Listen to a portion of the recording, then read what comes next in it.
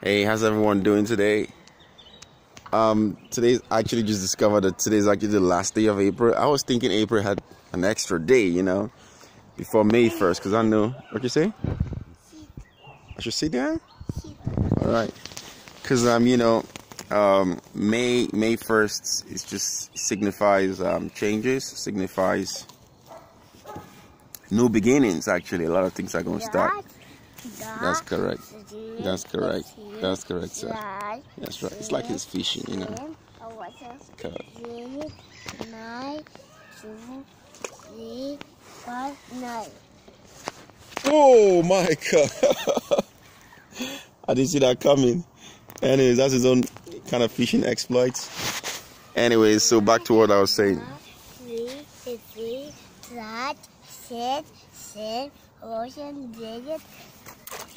Michael, don't throw anything into the river, okay? Into the lake. You see, now you're gonna have a hard time picking that up. It's gone. You want us to stop moving? No, I can't get it. It's already in the water. Sorry.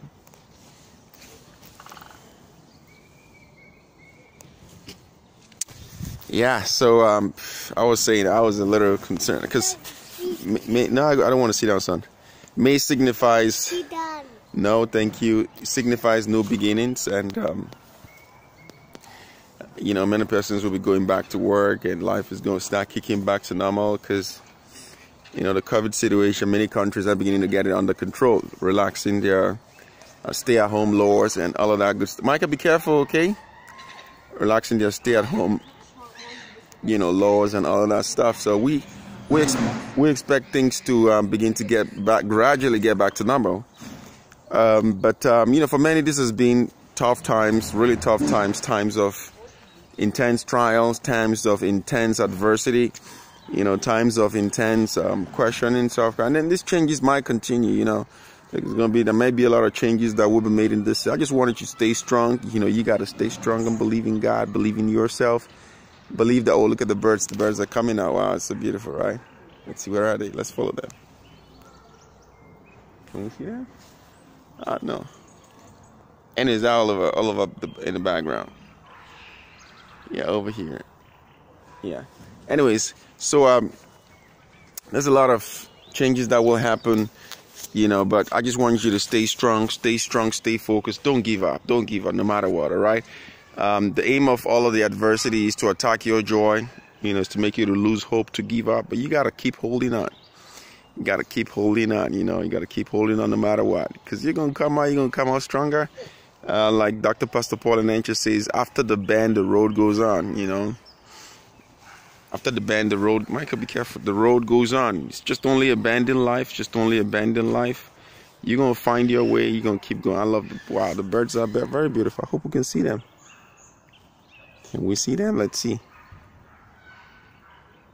Yeah, well, if you look hard, you can see them. If you really look hard, you can see them. You know, so after the bend, the road goes on. You must never give up no matter what. Uh, you must keep your joy because if you lose your joy, you lose everything, you know? If you lose your joy, wow, this are like doing a parade. If you lose your joy, you lose everything. I pray that God will help you to keep, you know, keep your joy, keep your peace, and just keep your focus. Because if you stay happy, if you, if you, if you keep your joy, if you find a way to stay excited in this season, if you find a way to stay, just stay happy, stay, stay connected with God and with your community, you know, with your inner self. I believe you will come out stronger. We will come out stronger, okay? Or it's Ike Amadi Moscow Russia sending you all the love and saying, hey, May's gonna bring us good news. May's gonna bring us good news. It's gonna bring us love, joy, peace, and plenty. And I also want to uh, have you, LA family, the LA family is gonna be reading the book of Psalms. Yes, talk to me, sir. Mommy's not here, is she? She's home. Yeah. LA family, we're going to be reading the book of Psalms, you know, three chapters a day. It's just going to be a good time of refreshing. And I invite you to join me tomorrow live, 5 p.m. GMT plus one. We'll be reading the Bible live. Okay, we'll be reading the Bible live. Like people from all over the world are going to connect in. It's Labor Day, so you don't have an excuse, okay? So join in and let's read the Bible together. Let's just read it aloud. There's power in just reading the Bible aloud, all right? Well, God bless you. This is your boy, Ike Amadi Moscow, Russia. Yay!